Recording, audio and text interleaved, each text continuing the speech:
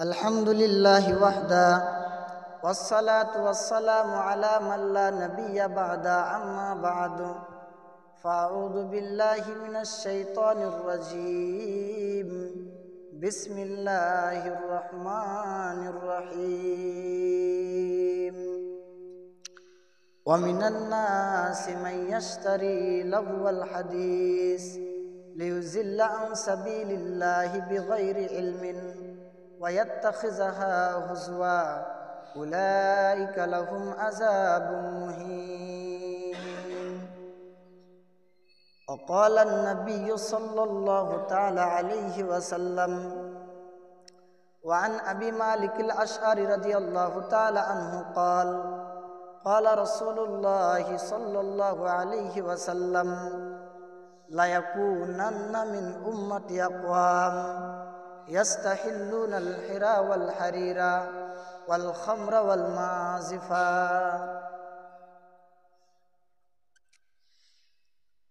ওহে মুসলিম কি হয়েছে তোমার ওহে মুসলিম কি হয়েছে তোমার দুনিয়ার মায়ায় পড়ে খোদাকে করেছ বেজার হক ও বাতিল নাহি দেখে, হক ও বাতিল নাহি দেখে দুনিয়ার পিছনে গিয়েছ মেতে। জেনে রাখো একদিন নিতে হবে বিদায়। এখনও সময় আছে, ফিরে এসো হক পথে। এখনও সময় আছে, ফিরে এসো হক পথে। না হলে বিপদ হবে রোজ হাসরাতে। উপস্থিত শ্রদ্ধেয়, সম্মানীয় আজকের জুমার মসজিদের মুসাল্লিগণ, সর্বাগ্যে সর্বপ্রথম সেই মহান আল্লাহ পাকের কৃতজ্ঞতা জ্ঞাপন করি, যার বিশেষ দয়ায়, বিশেষ কৃপায় আমরা এই জায়গাতে একত্রিত হতে পেরেছি। তাই সবাই মিলে উচ্চ স্বরে অন্তর থেকে বলি, আলহামদুলিল্লাহ। অতপর দরুদ ও শান্তির ধারা বর্ষিত হোক। সৈয়দুল আম্বিয়া, খাতামান নবীন নবী আহম্মদ মুস্তফা মোহাম্মদ মুস্তফা সাল্লাহ আলিহি ওয়াসাল্লামের উপর। আল্লাহ সাল্লি আলাইহি ও আল্লাহ বারিক আলাই বাদ আলহামদ ওয়াসাল্লা আজকে আপনাদের সম্মুখে কোরআন মাজিদ থেকে সুরা লোকমানের ছয় নম্বর আয়াতটি তেলাওয়াত করেছি এবং বিশ্বনবী নবী মোহাম্মদুর রসুল্লাহ সাল্লাহ আলী ওয়াসাল্লামের হাদিস থেকে একখানা হাদিস পাঠ করেছি। সে আয়াত ও হাদিসকে কেন্দ্রে মেন্দ্রের মধ্যে রেখে আমি আজকে আমার বক্তব্য এটি করব ইনশাল্লাহ আজকে যে বিষয় নিয়ে আলোচনা হবে, সেটি হচ্ছে গান, বাজনা ও বাদ্যযন্ত্র। আমি আপনাদের সামনে এই বিষয় সম্পর্কে যথারীতিভাবে বুঝাবার চেষ্টা করব।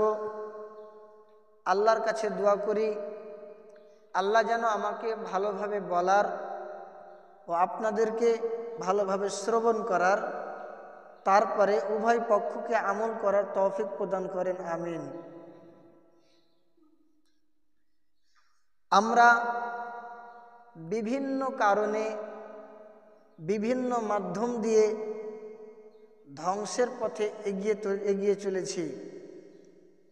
তার বিশেষ একটি কারণ, সেই কারণগুলোর মধ্যে বিশেষ একটি কারণ সেটা হলো বাদ্যযন্ত্র, সেটা হলো গান বাজনা। আবার বলি, আমরা বিভিন্ন মাধ্যম দিয়ে, বিভিন্ন দিক দিয়ে ধ্বংসের পথে চলেছি। তার একটি মাধ্যম হলো আমাদের মাঝে গান বাজনা এসেছে। তার কারণে আমরা ধ্বংসের পথে এগিয়ে চলেছি। আর সমাজকে সবচাইতে যেই জিনিসে বেশি নষ্ট করেছে, সেটা হলো গান বাজনা। অতএব আমি মনে করলাম যে যাক, একটু গান বাজনা সম্পর্কে আলোচনা করা যাক, তো মানুষের ভালো হবে। তার জন্য আজকে মনে মনে নিয়ত করলাম যে গান বাজনাকে নিয়েই আলোচনা করব। মানুষ এত কেন এটা নিয়ে মত্ত? কি আছে এর মধ্যে? কত স্বাদ আছে? কত এর মধ্যে ভিটামিন আছে? আর কত কি আছে? এটা নিয়ে কেন এত মত্ত? বন্ধুগণ, আল্লাহ রব্বুল আলমিন এই গান বাজনাকে হারাম করেছেন। এটা আমরা শুনেছি, জানি, কিন্তু মানি না। আর আপনারা যে জানেন, তা আমি কেন বারবার বলব? আপনারা জানেন, তথাপি আমি বারবার বলছি, এর একটাই কারণ, সেটা হলো যে আপনি বেশি বেশি শুনবেন তো মানার চেষ্টা করবেন। বেশি বুঝবেন তো বেশি ভালো লাগবে, মানতে আপনার সুবিধা হবে। একটা ছেলে যত বুঝবে তত তার পড়তে ভালো লাগবে। যত অঙ্ক বুঝবে, তত অঙ্ক করতে ভালো লাগবে। যত সেগা বাব্বাহাস গ্রামার বুঝবে, তত তাকে অ্যারাবিক পড়তে ভালো লাগবে। অতএব আপনি যত এই ইসলামটাকে বুঝবেন, তত ইসলামটাকে মানতে আপনাকে বেশি ভালো লাগবে। তো একটা বিষয়কে বারবার বলা, কোরআন, হাদিস ওগুলোই আছে। বারবার বলার মাধ্যম হলো, আপনারা যাতে চেঞ্জ হন, আপনাদের মন, আপনাদের দিমাগটা যাতে পরিবর্তন হয়। তো বলছিলাম যে আল্লাহ গান বাজনাকে হারাম করেছেন। আপনাদেরকে বলি, আজ থেকে সাড়ে চোদ্দোশো বছর আগে যেদিন ইসলামকে মোহাম্মদ সাল্লাহ আলি সাল্লাম মানুষদের সামনে প্রচার করতে লাগলেন এবং এই ইসলামের দিকে মানুষেরা দলে দলে আসতে লাগলেন, তখন কাফেররা বিভিন্ন রকম, মুশরিকেরা বিভিন্ন রকম চাল চেলেছিল। তারা বিভিন্ন পদক্ষেপ করেছিল মুসলমানদেরকে তাদের দিন থেকে, তাদের ধর্ম থেকে দূরে করার। অনেকগুলো কারণ, অনেকগুলো কৌশল অবলম্বন করেছিল। সেগুলো আমি সবগুলো বলব না, একটাই বলি। সেটা হলো, তার মধ্যে একটা বড় কৌশল হলো যে মুসলমানদের সামনে এরকমভাবে বাদ্যযন্ত্র বাজাও, এরকমভাবে গান বাজনা বাজাও এরকম অশ্লীল কবিতা, অশ্লীল ক্যাসেট চালাও, তাহলে এরা এদের দিন থেকে পিছিয়ে যাবে। মুশ্রিকেরা, কাফেররা, আপনাকে সত্যি ঘটনা বলছি, আপনার যদি বিশ্বাস না হয়, তাহলে আর রাহিকুল মাহতুম যেটা তারিখের সবচাইতে বড় কিতাব, সবচাইতে ভালো কিতাব, সে আর রাহিকুল মাহতুমে আপনি এই ঘটনাটি খুলে দেখে নেবেন যে মুসলমানদেরকে তাদের দিন থেকে সরানোর জন্য তিন নম্বর যেটা পদক্ষেপ তারা গ্রহণ করেছিল, সেটা ছিল কি? এই বাদ্যযন্ত্র বাদ্যযন্ত্র দিয়ে মানুষকে আমরা কি করব? তাদের ধর্ম থেকে টেনে নিব, আমাদের ধর্মের দিকে নিয়ে চলে আসব। তাহলে এই কৌশলটা তারা অবলম্বন করেছিল। সেই যুগের মানুষদেরকে অত পারেনি। কিন্তু আজকের এই দু হাজার তেইশ সালের মুসলমানকে একেবারে কবজায় নিয়ে এসেছে। যেখানেই গান বাজনা হবে, এরা হাজির। যদি হিন্দুদের হয়, তাহলে সেখানে পঞ্চাশটা হিন্দু দেখতে পাবেন আর পঞ্চাশটা মুসলমান। এরকমটাও হয় গান বাজনার স্টেজে বেশিরভাগ মুসলমান থাকে, হিন্দু কম থাকে। তাহলে আপনি দেখেন, কৌশলটা করেছিল আজ থেকে সাড়ে চোদ্দশো বছর আগে। সেই যুগের মুসলমানকে অত টানতে পারেনি। আজকে সেই কৌশলটা তাদের কাজে লেগেছে। আজকের মুসলমানেরা তাদের, আমাদের দিন ধর্ম থেকে দূরে সরে যাচ্ছে। আল্লাহ তালা এই কথাটাকেই বলছেন কি? ওয়ামিনান্নাসি মাইয়াস্তারি লাহু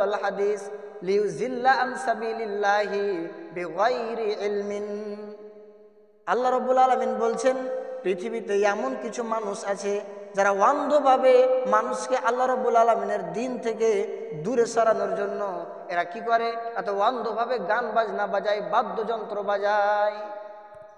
লাহুয়াল হাদিস। এখান থেকে অনেক মোফাসের অনেক ইমাম, অনেক মানে নিয়েছেন। তবে দুটা সঠিক মানে বলছি আপনাকে। ইমাম হাসান বাসারি তিনি বলছেন লাহুয়াল হাদিস বলতে গান বাজনাকে বোঝানো হয়েছে।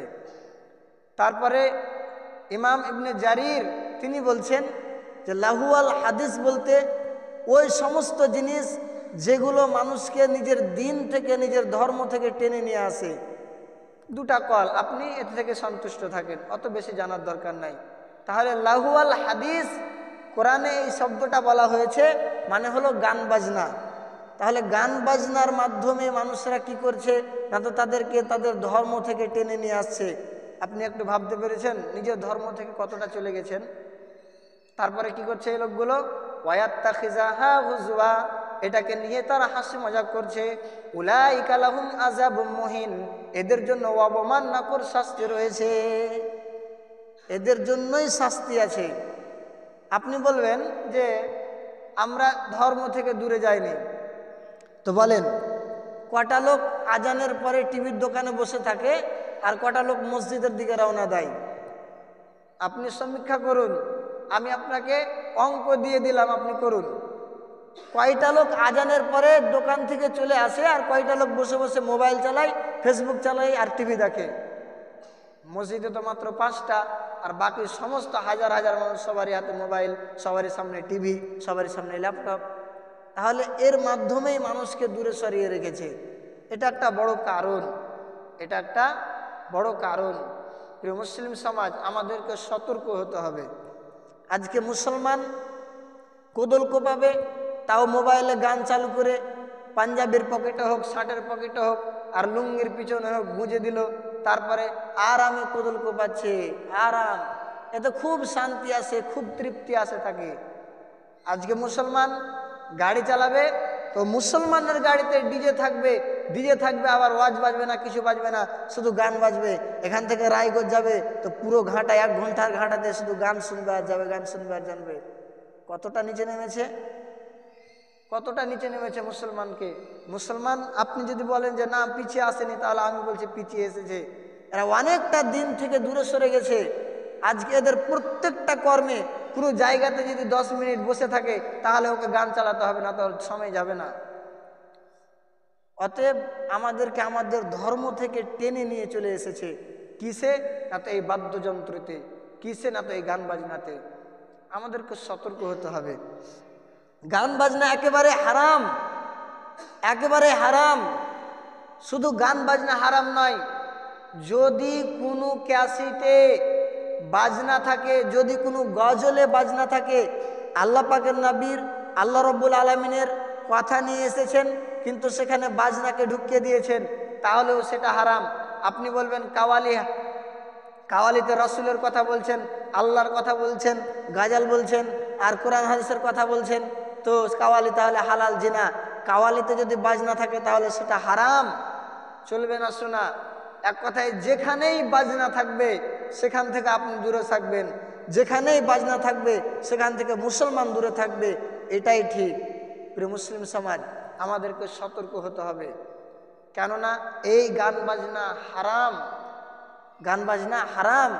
এ সম্পর্কে বিশ্বনবী বলছেন লায়াকু নান্নামিন উম্মাতে আকওয়াম। আমার উম্মত এমন একটা সময়ে পতিত হবে। আমার উম্মত এমন একটা যুগে পতিত হবে, যেই যুগে তারা কি করবে? এরা রেশমি পোশাককে হালাল মনে করবে ওয়াল খামরা এরা মদকে হারাম মনে, হালাল মনে করবে ওয়াল মাহাজিফা এবং এরা বাদ্যযন্ত্রকে হালাল মনে করবে। রাসুল বলছেন, এমন একটা যুগে পতিত হবে, এমন একটা সময় আমার উম্মতের মধ্যে চলে আসবে, যে সময়ে এরা রেশমি পোশাককে হালাল মনে করবে। মদকে হালাল মনে করবে এবং গান বাজনাকে হালাল মনে করবে। ছোট ছেলের হাতে মোবাইল দিয়ে দিয়েছে। তো কেউ যদি শিক্ষিত মানুষ বলছে, একটা ছোট ছেলেরে কেন গান বাজনা দিয়ে দিয়েছে? তো বলছে, কি হবে? কিছু হবে না, ছোট ছেলে শুনছে। তাহলে তোমার এই কথাটা বলা মানে কি? হালাল মনে করে নেওয়া।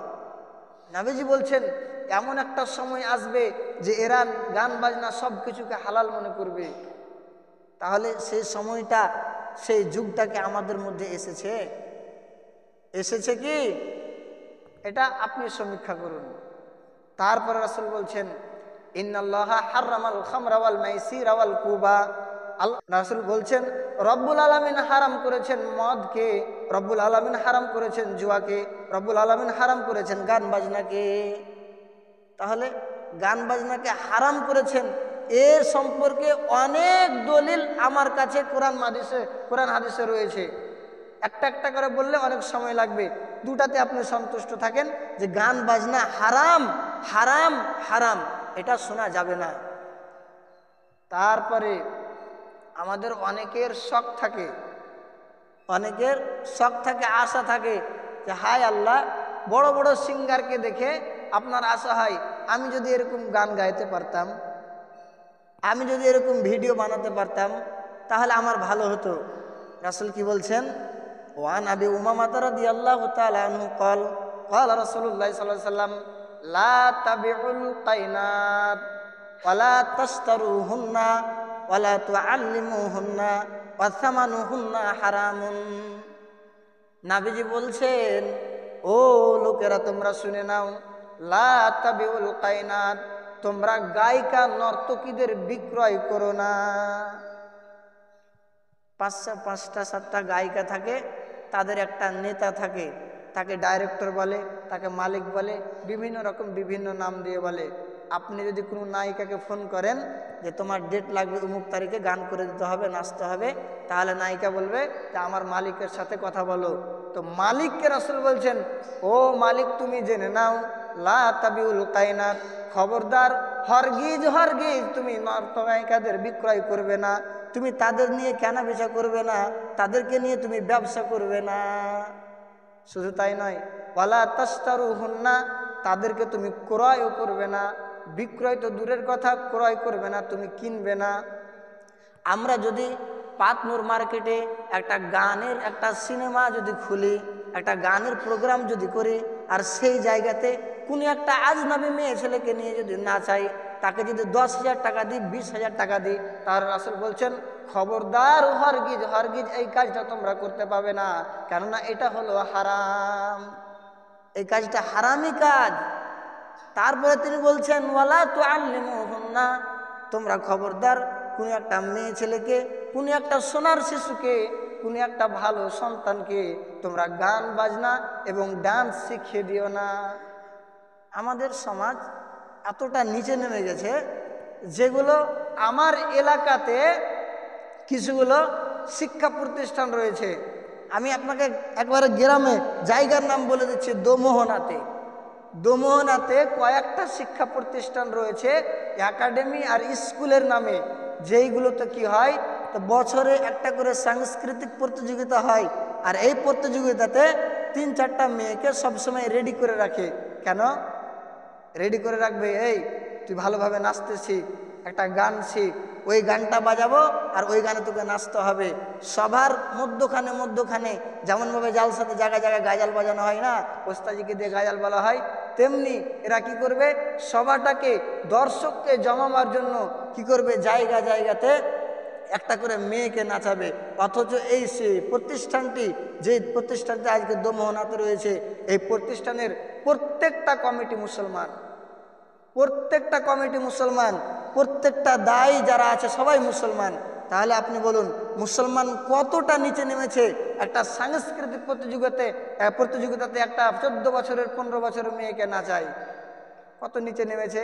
আপনাকে কি বললাম, আজ থেকে পনেরো বছর আগে এই সাজিশগুলো চেয়েছিল কারা? তো মুশ্রিকরা যে এটা চালাও, এই জিনিসগুলো উঠাও, তাহলে কি হবে? মুসলমান তাদের দিন থেকে তাদের ধর্ম থেকে দূরে সরে যাবে। আজকে অনেক দোকানে মৌলবী সাহেবকে ঢুকতে দেওয়া হয় না। মৌলবী সাহেবকে ঢুকতে দেওয়া হয় না, জায়গা দেবে না, যাবে তো জায়গা দেবে না। কেন? টিভি বাজাবো তো মৌলবী সাহেব থাকবে তো মানা করবে। কি দুনিয়ারে ভাই? একটুকু এরা ভালো কি কি মন্দ কিছুই বুঝে না। রাসুল বলছেন লারিফুনা মারুফাওয়ালা ইউনকিরুনা মুনকারা। এমন একটা যুগ আসবে, আমার উম্মত কোনটা ভালো জিনিস সেটাও বুঝবে না, কোনটা খারাপ জিনিস সেটাও বুঝবে না। এরা জাহিল ঝাপ্পাড়ের মতো হয়ে দুনিয়াতে বসবাস করবে। এরা জাহিল ঝাপ্পাড়ের মতো হয়ে দুনিয়াতে বসবাস করবে। আপনাকে এই জিনিসগুলো থেকে বাঁচতে হবে। তো কি বলছিলাম? খবরদার একটা ছোট ছেলেকে, একটা ছোট মেয়েকে ডান্স কিংবা নাচ শিখাবেন না।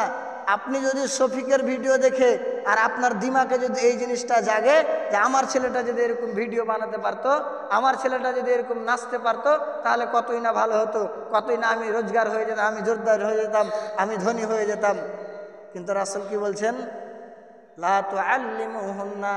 ওয়াসামানুহুন্না হারামুন। তোমরা যদি কোনো নর্তকীদের বিক্রয় করো, কোনো নর্তকীদের ক্রয় করো এবং কোনো ছেলে মেয়েকে কাউকে যদি ডান্স শিখিয়ে দাও এবং এর মাধ্যমে যদি তোমরা টাকা রোজগার করার ব্যবসা করো, তাহলে তোমরা জেনে নাও ওয়াসামানু হুন্না হারামুন। এদের থেকে যত রোজগার আসবে, যত আয় আসবে, যত টাকা কামাই হবে, সবগুলো হলো হারাম। তাহলে দলিল পেলেন অযথা ভিডিও বানিয়ে ইনকাম করা হারাম। এটা দলিল আপনাকে আজকে দিয়ে দিলাম। কি? আপনি কখনো মনে করবেন না যে আমি একটা ভিডিও বানাই, কমেডি ভিডিও, গানের ভিডিও, নাচের ভিডিও, আর সেখান থেকে আমার ইনকাম আসবে, আর আপনি আপনার ছেলেকে পাঠিয়ে দিলেন যা, অসুবিধা নাই। তাহলে আজ থেকে জেনে নেন, এই কামাই, এই রোজগার একেবারে হারাম, এই কামাই চলবে না, এই কামাই হারাম। প্রিয় মুসলিম সমাজ, আমাদেরকে এই বাজনা, এই গান থেকে বাঁচতে হবে। সাহাবিগণ কত বাঁচতেন? একদিন উমার আর নাফে রাস্তা দিয়ে হাঁটছেন, দূরে এক জায়গাতে ঢোল নিয়ে একজন ঢোল বাজাচ্ছে আর গান করছে। মুখে এরকম ডিজে নয় এরকম ডিজে থাকলে তো কি হয়ে যেত? তো একটা লোক মুখে গান বলছে আর ঢোল নিয়ে ঢোল বাজাচ্ছে। উমার কি করলেন? রাস্তা থেকে সরে গেলেন। সরে যাওয়ার পরে কি করলেন? ফাওয়াজা ইসবাইহি আলা মিন উজুনাইহি ফাওয়াজা ইসবাইহি আলা উজুনাইহি উমার কি করলেন? নিজের আঙুলগুলো তার কানে ঢুকিয়ে দিলেন। ঢুকিয়ে দেওয়ার পরে বলছেন, ইয়া নাফে, হাল শাইআন? হে নাফে, তুমি কি কোনো আওয়াজ শুনতে পাচ্ছ? তুমি কি কোনো গানের আওয়াজ শুনতে পাচ্ছ? তুমি কি কোনো বাদ্যযন্ত্রের আওয়াজ শুনতে পাচ্ছ? তখন নাফেরা দিয়ে আল্লাহ তালানু বলছেন, লা আসমাউ শাইআন, আমি কোনো আওয়াজ শুনতে পাই না। আমি কোনো আওয়াজ শুনতে পাই না। তখন আজরাত উমার নিজের কান থেকে আঙুল বের করে দেওয়ার পরে বলছেন আমি যখন রাসুলের সঙ্গে ছিলাম, তখন আমি রাসুলকে এরকমই করতে দেখেছিলাম। কীরকম? তিনি একদিন রাস্তা দিয়ে যাচ্ছিলেন আমি উমার তার সঙ্গে ছিলাম। আল্লাহ পাকের নাবি বাদ্যযন্ত্রের আওয়াজ শুনলেন, শোনার পরে নিজের কানে আঙুল ঢুকিয়ে নিলেন এবং রাস্তা থেকে সরে গেলেন। আমাকে বললেন, ইয়া উমার, তুমি কি কোনো আওয়াজ শুনতে পাচ্ছ? আমি বললাম, পাই না। যখন আমি বললাম, পাই না, তখন নাবি নিজের কান থেকে আঙুল বের করে দিলেন এবং বললেন, কিছুক্ষণ আগে আমি বাদ্যযন্ত্রের আওয়াজ শুনতে পাচ্ছিলাম, তার জন্য আমি নিজের কানে আঙুল ঢুকিয়ে নিয়েছিলাম। তাহলে বাদ্যযন্ত্রের আওয়াজ শুনে রাসুল কান কানে আঙুল ঢুকে নিলেন, উমার কানে আঙুল ঢুকে নিলেন। তাহলে আজকের মুসলমানরা কি করছে? যদি একটা গান রাস্তা দিয়ে যাচ্ছে, যদি ডিজে রাস্তা দিয়ে যাচ্ছে, তাহলে ভাত যে খাচ্ছে, ও ভাত ছেড়ে দিয়ে যে কোনো কাজ করছে, কাজ ছেড়ে দিয়ে রাস্তায় গিয়ে দাঁড়াচ্ছে। মুসলমানদের ইমান কোথায় গেছে? এরা বরবাদ হয়ে গেছে। ঘরে ঘরে শান্তি যেথাই দুঃখের নাই কলেশ খুঁজছি আমি বাউলা হয়ে, এমন একটি দেশ রে, এমন একটি দেশ। যেথায় নাই কো মদের আড্ডা, যেথায় নাই কো মদের আড্ডা, খেলে না কেউ জুয়া। সিনেমাতে ভিড় করে না, তাসকে বলে ভুয়া রে, তাসকে বলে ভুয়া। রাত্রে যেথায় বম ফুটে না, শান্ত পরিবেশ। খুঁজছি আমি বাউলা হয়ে, এমন একটি দেশ রে, এমন একটি দেশ। তাহলে কোথায় এরকম দেশ আছে? কোথায় এরকম মানুষ আছে যে গানের আওয়াজ শুনে দূরে চলে যাবে? এরকম মুসলমান গানের আওয়াজ শুনে দূরে যাবে না। এরা তো নিজের ধর্ম, নিজের আমলকেই ঠিক রাখে না। আপনি একটু ভেবে দেখেন, আপনার বাড়িতে কি হয়? আপনার বাড়িগুলোকে তো আপনি রুখতে পারবেন। আঙিনাতে বসে আছেন পাঁচ সাতজন মানুষ। আপনার ওখানে বউ বসে আছে, ওখানে স্ত্রী বসে আছে, ওখানে মা বসে আছে, ওখানে আপনার ছোট্ট পতিন বসে আছে। তো ছোট্ট পতিন আর পোতা গান বাজিয়ে গান শুনছে, আর আপনি বলছেন, আপনি হাসছেন। দেখো, মোবাইল চালাতে পেলিছে কত হাসি। এতে আপনি খুশি হয়েছেন। একটা ছোট্ট ছেলে ইউটিউবে গান শুনছে, ফেসবুক চালাচ্ছে, তা আপনি বলছেন, মোবাইল চালাতে পেরে নিচ্ছে, দেখো। খুব খুশি আপনি। আপনি জানেন, তার ভবিষ্যৎ এখানে নষ্ট হয়ে গেল। অতএব সবসময় সাবধান থাকবেন। এরকম জিনিস থেকে, এরকম গান বাজনা থেকে দূরে থাকবেন। কারণ এটা হলো মুশ্রিকদের, কাফেরদের, বেধর্মীদের একটা আমাদের উপরে সাজিশ, একটা আমাদের উপরে কৌশল, যেটা আমাদেরকে, যেটা আমাদের উপরে ব্যবহার করেছেন। আমাদেরকে দিন থেকে, আমাদের ধর্ম থেকে দূরে সরে, দূরে সরিয়ে রাখার জন্য। অতএব সবাই আমরা সাবধান হয়ে যাব। আমরা এরকম জায়গাতে যাব না। যদি চলে যাই, যদি এরকম কাজ আমরা করতে থাকি, আর যদি নিজেকে খুবই ই মনে করে নিয়ে যে আমরা করব, কি হবে দেখা যাবে? কি হয় না, কিসের জন্য হয় না একটু বলে দিচ্ছি। রাসুল এই উম্মতের উপরে, এই লোকগুলোর উপরে দোয়া করে গেছেন, আমার উম্মত যাতে কমের আদের মতো কমের সামুদের মতো ধ্বংস না হয়ে যায়, এদেরকে একবারে মেরে দিও না আল্লাহ রব্বুল আলমিন। আজকের উম্মতেরা পাঁচজন, সাতজন মানুষ একজন নামাজে আসে ছয়জন বসে থেকে যায়। আল্লাহ যদি চান তাহলে ওদেরকে ওখানে ধ্বংস করে দিতে পারে। ওদের টুটিটা চিপে মেরে দিতে পারে, কিন্তু মারে না কেন? রাসুল দোয়া করে গেছেন, আমার উম্মতকে একবারে ধ্বংস করে দিও না। এক গ্রামের একটাও মানুষ নামাজ পড়ে না। এক গ্রামের সব সময় মানুষরা গান শুনে, সব সময় হারামি কাজ করে। ও গ্রামকে ধ্বংস কেন করে না?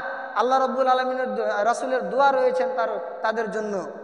এই জন্য ধ্বংস করে না। কিন্তু রাসুল বলছেন কি? এমন একটা যুগ আমার উম্মতের মধ্যে আসবে। উম্মা। এই উম্মত এমন একটা যুগে পতিত হবে, যেই যুগে তারা কি হবে? খাসফুন ওয়া কাজফুন ওয়া মাসফুন। এই উম্মত ধ্বংস হয়ে যাবে। এই উম্মতের উপরে ভূমিকম্প নেমে আসবে। এই উম্মতের উপরে জালেম শাসক নেমে আসবে। এই উম্মতের আকার কেমন হবে?